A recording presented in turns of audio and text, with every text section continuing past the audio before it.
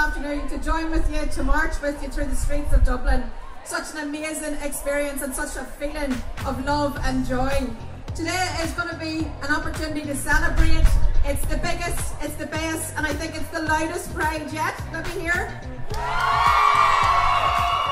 I think the fact that so many thousands of people have come on to walk through the streets of Dublin today is the best testimony to all those brave activists who 40 years ago walked these streets to stand up against hatred and prejudice. And we owe it to them to be here today and to celebrate what we're doing today. I'm so glad that we're living in better times. I'm so glad that we're living in a more modern Ireland, but we certainly have more work to do on this journey.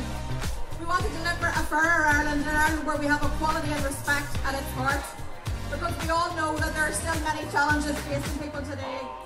Many of our friends are still suffering discrimination, they're suffering bullying and even loneliness. So let me say very loudly here from the stage today, homophobia and transphobia have no place in Ireland. Our schools need to be safe places for our young people to be able to go and not to have to face bullying when they're schooling. We need to ensure that no child or no young person comes up against that. Me say thank you to all the young people that have marched today. You truly are an inspiration. My message to you is you are class.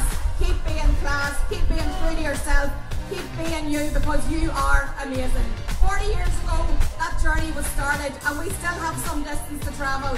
But we look to the future with confidence. We look to the future with pride.